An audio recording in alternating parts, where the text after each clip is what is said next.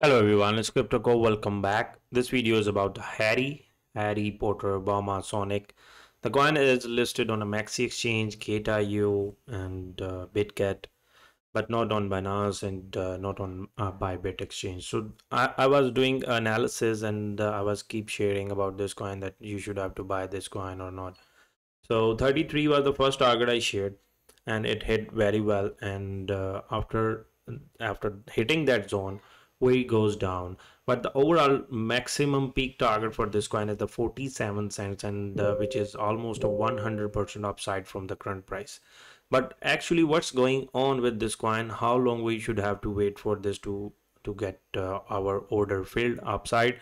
So this video is important for you if you are holding this coin here uh, here was the level at 2430 guys okay? I'm going to zoom in to show you the bigger picture of this coin.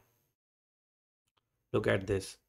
This is our trend line a very important support level. Every time we test this area one time two time here three time four time five time and then you can see we have a breakout above this zone okay? The currently is price above this. So this was the very strong level and 430 33 days below this line guys.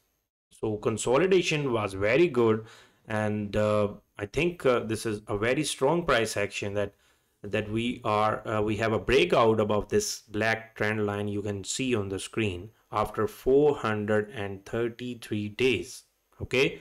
And this is a very bullish event. That is the reason i told you that you should have to buy this coin okay and people are saying that uh, we are already at the upper zone and uh, RSI is overbought and we are close to the resistance. I know very well, but uh, this is the thing I was watching. So I believe the coin will again started moving upside, but it need to cool down first as the RSI was overbought and indicator was highly overbought like you can see. But on a two day chart, two day chart, now we are down from here to here and reaching at the lowest area like at the neutral zone. The coin is still bullish okay? Because we are still around uh, here i'm going to show you that same trend line. Look at this. And uh, yesterday we wick downside but right now it is uh, easy it can easily reclaim that zone. I'm going to show you the biggest candle here. Look at this candle that candle was of 63% in a in a two days upside downside okay?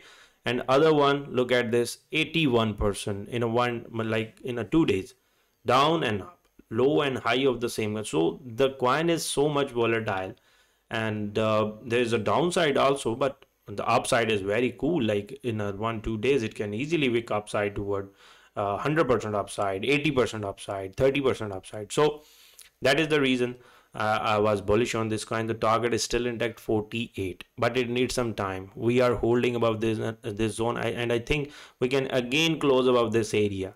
Now we will go to the lower time frame to actually see what's going on right now. Price is going to hit the zone of the 24585. We will again get rejection from this zone. Okay, downside, something like this. Then again we will reclaim and hit this area okay? So this is the very important area for this coin to break.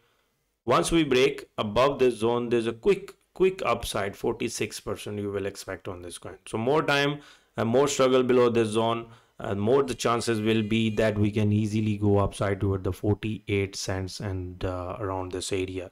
So nothing to worry about. Just do a dca and hold for this hold this coin for some time. And this is the lowest area. We are not going to lose this zone guys okay? 17 or 18 okay? This is the area from where the coin will make a reversal pattern.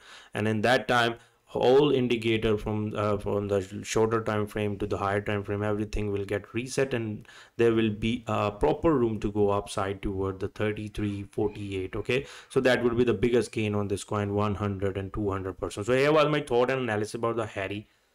Hope you guys like my video. Always do your own search before buying and selling anything. Bye bye